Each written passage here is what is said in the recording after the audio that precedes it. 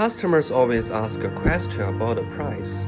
Why do the hair I buy in other brands look like and feel like your hair? But why your hair price is few dollars more than others?